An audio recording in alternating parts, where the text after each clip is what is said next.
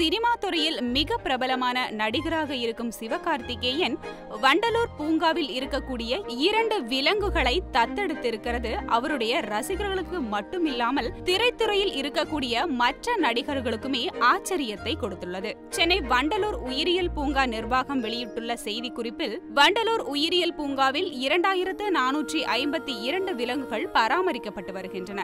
பொதுமக்கள் பார்வையாளர்களாக வந்து விலங்குகளை பார்ப்பதோடு மட்டுமின்றி இங்குள்ள விலங்குகளை தத்தெடுக்கும் திட்டத்தையும் பூங்கா நிர்வாகம் நடைமுறைப்படுத்தி வருகிறது. இதன் மூலம் விலங்குகளை தத்தெடுப்பவர் அதற்குரிய உணவு மற்றும் பராமரிப்பு செலவை அளிக்கலாம். செலவிடும் தொகைக்கு வரி விலக்கும் உண்டு. பூங்காவை இலவசமாக சுற்றி பார்த்தல் போன்ற சலுகைகளும் வழங்கப்படுகின்றன. நடிகர் சிவகார்த்திகேயன் இங்குள்ள விஷ்ணு என்ற ஆண் சிங்கத்தையும் பிரகுதி என்ற பெண் யானையையும் ஆறு மாதங்களுக்கு தத்தெடுப்பதாக அறிவித்துள்ளார். அவருடைய இந்த செயல் விலங்குகள் மீதான அவருடைய அக்கறையையும் ஆர்வத்தையும் காட்டுகிறது.